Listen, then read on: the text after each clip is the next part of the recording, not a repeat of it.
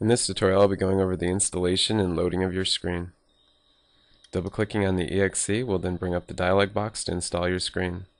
Clicking on the next and agreeing to terms and you're ready to install.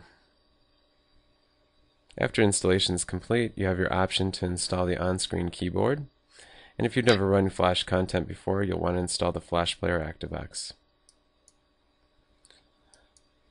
Clicking on the Mach 3 mill then opening up Mach and going up to our top menu, load screen.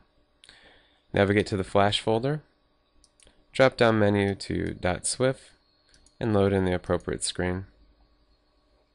At this point we need to create an XML so we'll shut down Mach and we'll reopen it up and we're set to go. You'll be presented with a license number. You want to copy that and paste it to receive a key code.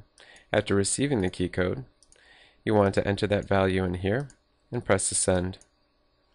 Then click the submit key code, after which you are ready to go.